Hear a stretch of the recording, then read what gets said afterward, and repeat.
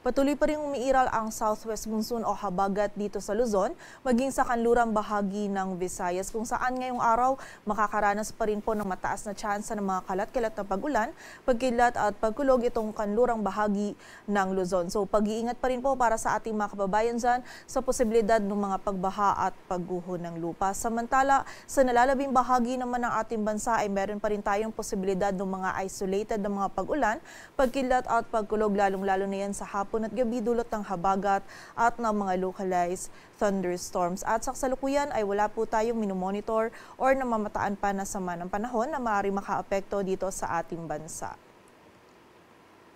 At para nga sa magiging lagay ng panahon ngayong araw ng linggo, maulap na kalangitan at mga kalat-kalat na pagulan pa rin yung mararanasan dito sa Ilocos Region, maging sa bahagi din ng Zambales, Bataan, Occidental Mindoro, maging sa area din ng Palawan, dulot ng Habagat. Samantala, dito naman po sa nalalabing bahagi ng Luzon, kasama na dyan ng Metro Manila, ay meron pa rin tayong mararanasan ng mga isolated o yung mga biglaan ng mga pag-ulan, lalong-lalo na po yan sa hapon at gabi. And also, this early morning din po is posible po po rin tayong makaranas ng mga pagulan na ito. Kaya kapag po tayo ay lalabas, wag pa rin natin kalilimutan yung mga pananggalang natin sa ulan and also yung ating mga regional offices ay nagpapalabas din ng mga thunderstorm advisories or mga babala ukol sa mga pag-ulan na ito.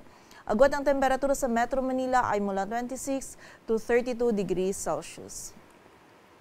Samantala sa buong bahagi naman ng Visayas at Mindanao ngayong araw ay magiging bahagyang maulap hanggang sa maulap ang kalangitan.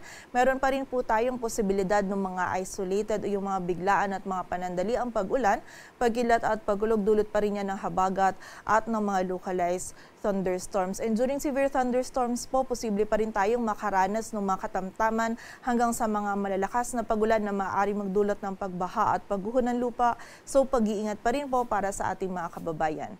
Agwat ang temperatura sa Cebu ay mula 26 to 33 degrees Celsius at sa Davao naman ay 25 to 33 degrees Celsius. At para naman sa lagay ng dagat baybayin ng ating bansa, wala po tayong nakataas na gale warning kaya malayo makakapalaot yung mga kababayan nating mga isda pati na rin yung may mga maliliit na sasakyang pandagat.